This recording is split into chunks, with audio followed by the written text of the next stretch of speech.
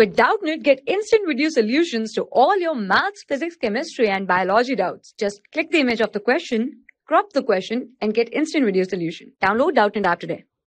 Hello everyone. So here we have the question and the question says that lungs in frog are. So the options are distensible, pinkish, sac-like, distensible, pinkish and solid, distensible, uh, pinkish and spongy and the last option is distensible, rosy and spongy. So first of all if we see here we know that uh, the lungs that is present in the frog that basically helps them to respire. They helps to respire and uh, that too when the frog is present in the land. Clear? And also we can say that this particular uh, structure are two in number. There are two delicate structures or delicate lungs rather okay? And not only delicate but they are somewhat elastic.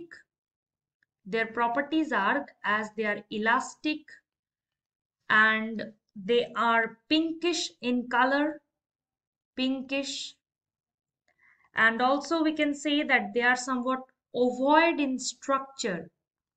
They are ovoid.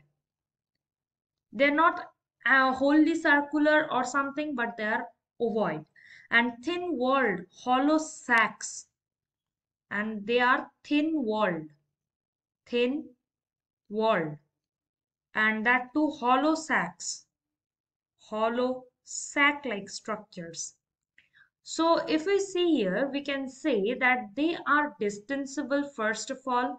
So distensible is there in all the option. Okay. They are not rosy. So this option will be wrong. And they are not actually solid or spongy. Hence we can say that these two options are also wrong. So the only correct answer is distensible and they are somewhat pinkish and sac-like and they lie on either side of the esophagus. This particular structure lies on either side of the esophagus. Okay, that is present in the frog. Esophagus. Therefore, the first option given here is the only correct answer.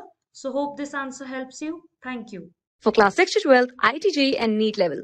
Trusted by more than 5 crore students. Download Doubtnut app today.